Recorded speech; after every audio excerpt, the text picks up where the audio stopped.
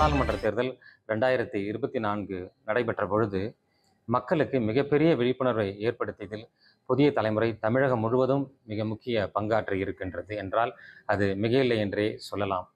ஒரு தேர்தலின் நடைமுறைகள் எவ்வாறு வாக்களிக்க வேண்டும் அதனுடைய மக்களுடைய கடமைகள் என்ன என்பதை எடுத்துச் சொன்னதில் புதிய தலைமுறை மாவட்ட நிர்வாகத்தோடு இணைந்து மிகச் சிறப்பாக பங்காற்றியது என்றே சொல்லலாம்.